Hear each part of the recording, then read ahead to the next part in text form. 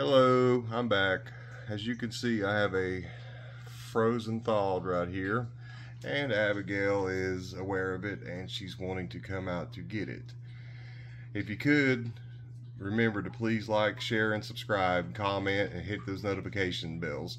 That way, you'll be notified anytime that I put up any content. I do have a couple editions coming next week, and they're a surprise, and I really want to show you all the unveiling, and I'm looking forward to it.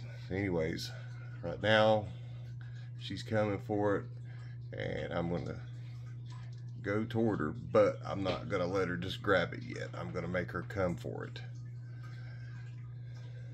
Put it on the, drag it down here on the bottom. Move it around. Look at her. Look at this. She's ready. She ain't playing games. She knows what this is about. Come on, girl. You got this.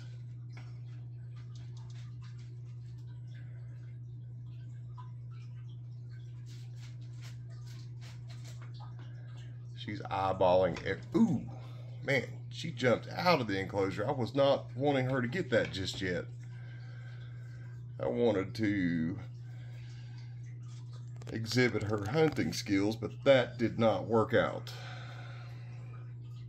She, from what the camera shows, it looks like it was about four inches.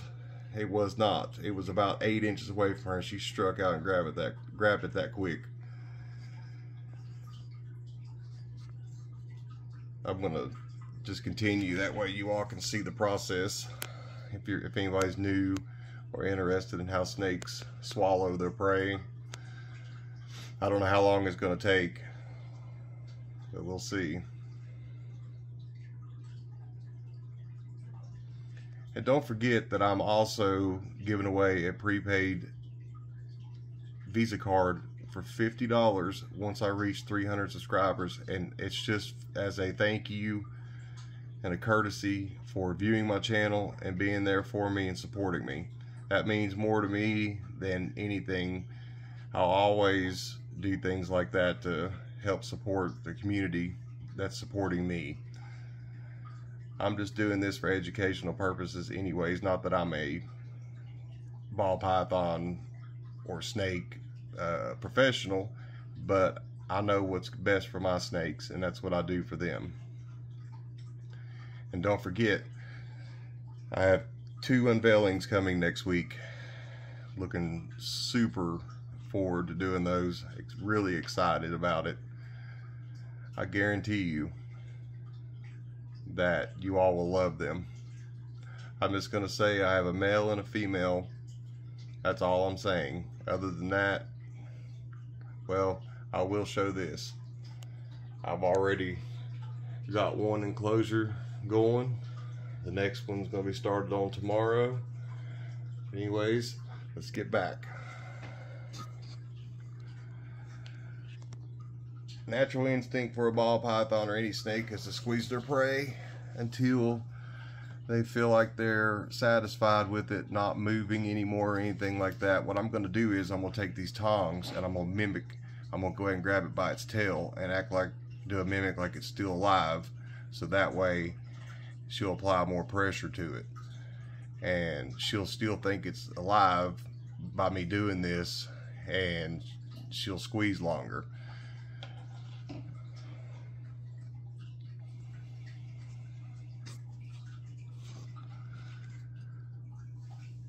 so she is a normal but she is a normal het clown so I'm going to use her as a breeder in the future I don't want to breed. That wasn't my intentions, but I'm curious as to make sure or to see if she really is het clown. The only way to find out is to breed her. I'm looking forward to that. It's going to be probably, I mean, she's not even uh, four months old, so it'll be a couple years anyways before I'll be able to do that. Anyways, let's continue watching. I'll try to give you a different angle here. It's going to be shadowed because of all the stuff on top and everything, but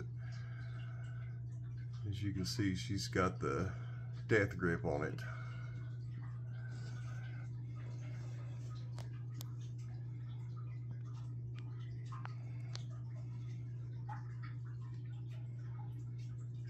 If you hear water trickling in the background, if you've made it this far, it's my aquarium.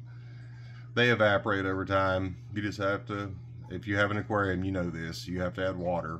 It's just part of it. So I'm gonna do that probably later on today or tomorrow sometime to get that noise out. maybe one day I'll showcase the aquarium. It's 120 gallon. I may actually take the fish back to a pet store and turn it into another enclosure. It's six feet long, uh, 24 inches tall, and uh, 20 inches wide, I believe. Don't quote me on that. Ain't that neat? Look at those on her side right there. It looks like alien heads. That is so cool. And look at her patterns on her back.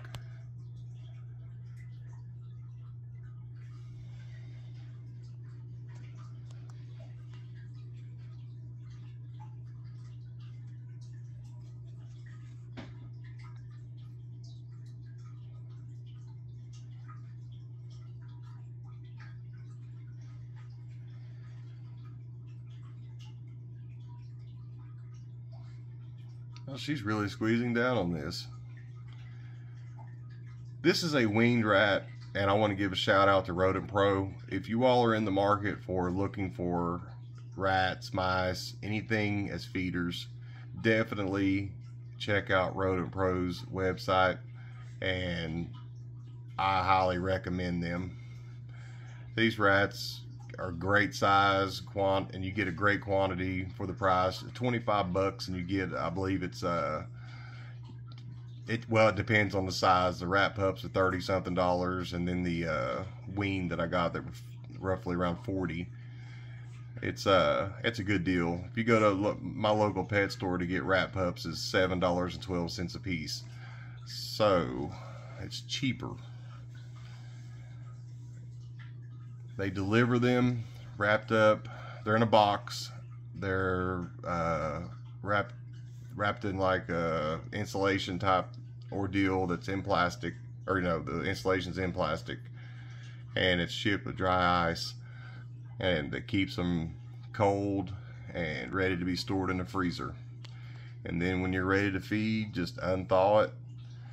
I, I just put mine in uh, a little bowl and put it put it in a Ziploc bag. And then I run hot water over top of it.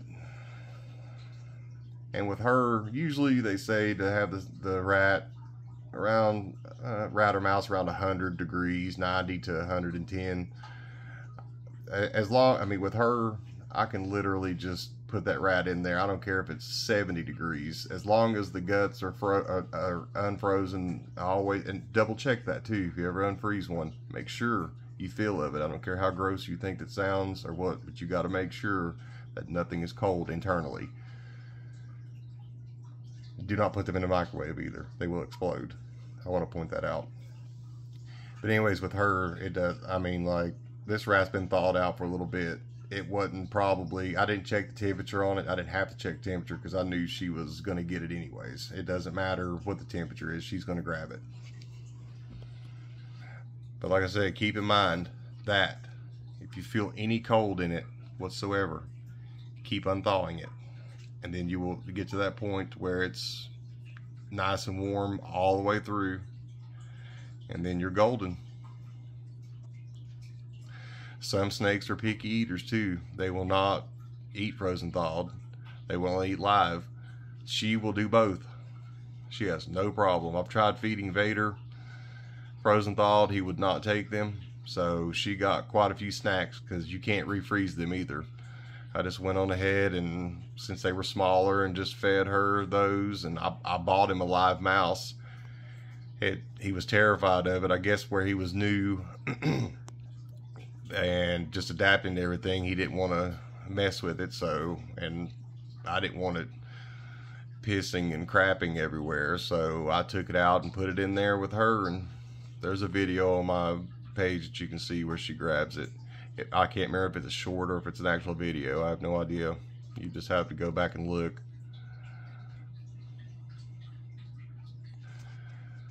I'm going to pause this for a minute so I don't, I don't bore you all that way. I can get to the part where she's ready to start scarfing down. 10 minutes later, and we're still in the same process. Let's see how much longer it's going to take. It's been another five minutes. I guess me wiggling on that tail made it where she thought it was still going. In all reality, it was already dead to begin with. Continue. 23 minutes later, and she's finally going to eat it.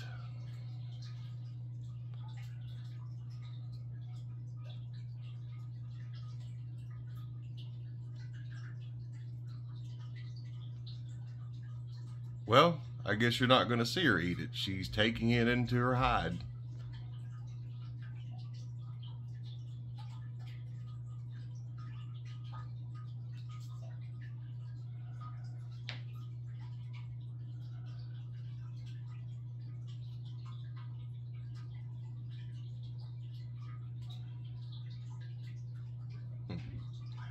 Okay, well, I'm not gonna I'm not gonna lift her hide up to finish this off. Anyways, I, I just wanted to show you her striking it. I wanted it, I, want, I actually wanted her to follow me across the enclosure with it, but she got too impatient and just grabbed it. So anyways, on that note, I'm out. Thank you all. Peace out.